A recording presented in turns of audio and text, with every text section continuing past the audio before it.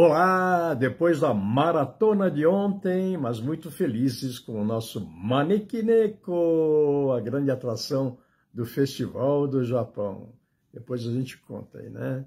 Mas falando de um fato muito importante para os paulistas que comemoraram ontem, 9 de julho, a Revolução Constitucionalista de 1932 contra a ditadura Vargas.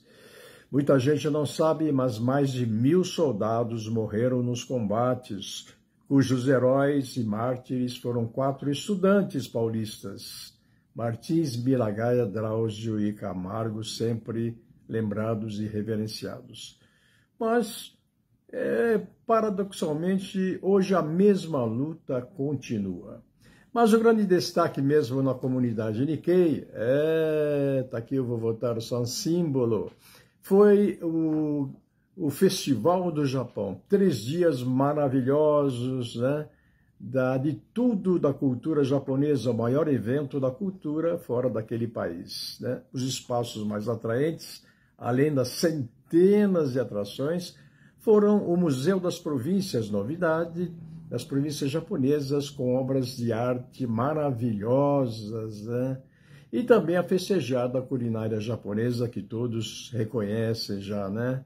É, com diversas, diversos pratos da culinária de várias regiões. Mas o, a grata surpresa foi a aparição do Neko de forma gigante, gigantesco, boneco, criação da nossa parceira agora, Rosângela Chagas e família, o Billy maravilhoso e a Bia encantadora, né? É, responsáveis que foram pela maravilhosa criação do boneco manequineco gigante, né? É, vendo as pessoas encantadas até a nossa tartaruguinha Kamê, até quase chorou de emoção, né? Tão bonito era o nosso Maniquineco Gatinho da Sorte e da Fortuna. Né? Outros destaques também, nossos parceiros também, Doces Castela, é incrível, né?